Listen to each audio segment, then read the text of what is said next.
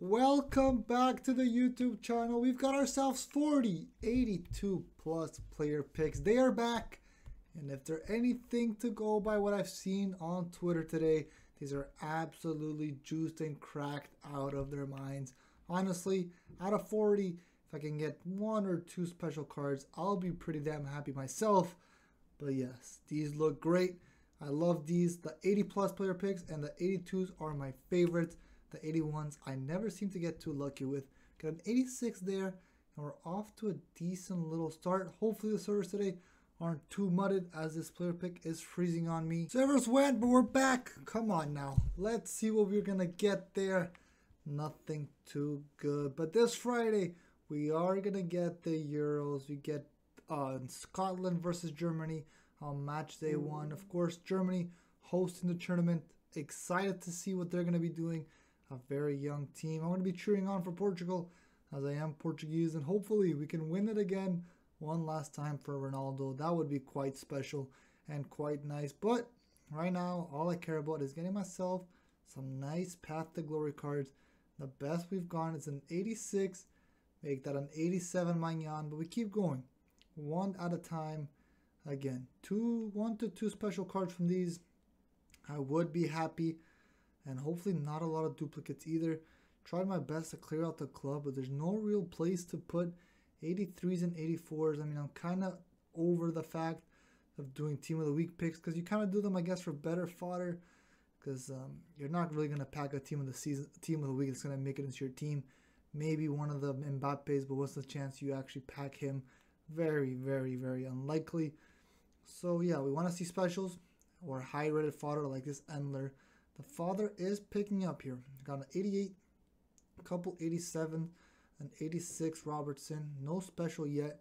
We've got a lot of these to get through. Come on, EA. Show us a little some. Some, some, some. I would love a Ruben Dias or any of the French players, really. Because see them going really far into the tournament again. An Odegaard is nice. An 88 Renard. I mean, the fodder from these is decent. The fodder finishes is And Of course, as always, guys, craft 10 of these. Let me know what you get in the comments. Always use untradeable cards for them because you just get a chance at better cards and they're untradeable anyways. Might as well put them into these player picks. But so far, they've been okay for me. I was expecting a lot better. I feel like I wait too long to open these. When I'm on Twitter, they come out at 1 p.m. But I'm at work over here and I can't get to them right away. We'll take an 87 roll full. I also like how they changed the the background on the player pick. You can actually see which player you're selecting now, which is a nice little touch. I don't know why it took them so long to to fix it, but it's here now, so that's nice. But it would be better to see what a Path to Glory card looks like in one of the new player picks. We're gonna keep going. Come on, EA. I think I got a couple more on the other page as well. 40 this time around. I usually do 25 or 30. I was seeing how everyone was getting so lucky. I was like, you know what, 30, not enough for today, but it could have been enough. Maybe 30 was the right amount. We have a whole other page to get through. Here we go. Come on. One little special. Nope, not here. Carvajal, the man who scored the Champions League winning goal this season.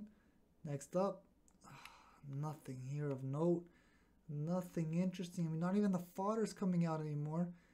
Oh, there we go. Sandra Panos, another 87. We take it. We take it and we move. Hopefully we get a couple more showdown cards to come out as well. Those are fun to do and cheap.